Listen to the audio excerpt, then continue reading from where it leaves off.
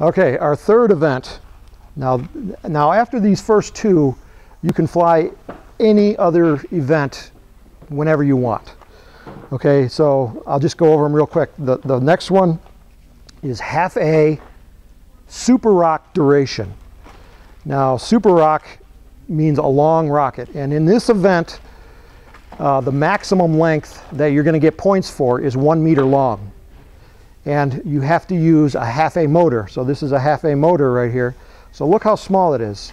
So basically, you want to keep your rocket as light as possible um, and as small as possible. So this is a minimum diameter, small motor, minimum diameter, and you're going to have to get parts for this because there's really no kits available. Um, on this rocket, I have it one meter long. You try to remove weight from the front. Um, so if you can make a custom made tube, put a little nose cone on it, split it in the middle, put your shock cord, and I attach my shock cord on the outside of the rocket um, just because I don't, because it's such a small tube, and this is a duration event. That means we need it to stay in the air as long as possible.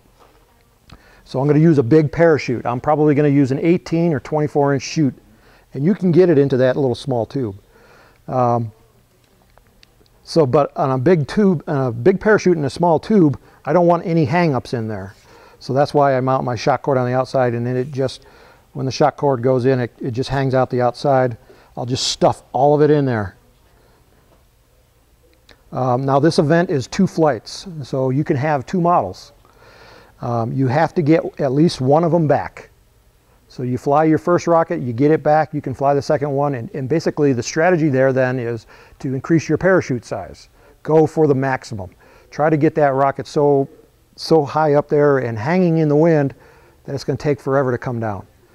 And if you lose the second one, that's okay. You got your first one back. If you lose your first one, now you got to change your strategy a little bit. Now you got to think, okay, what am I going to do to make sure I get that second one back? So the way this is scored is it's the sum of your two flights. So if your first one is 30 seconds and your second one is 30 seconds, you got a total flight time of 60 seconds. The person with the longest flight time wins.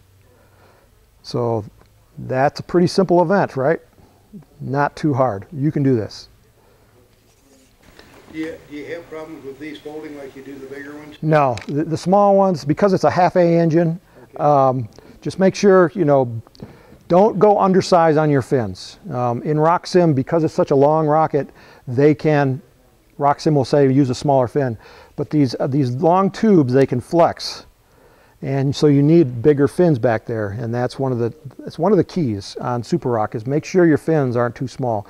And you can see here, this is a half inch diameter tube, and that's got to be at least uh, an inch and a half span on that fin.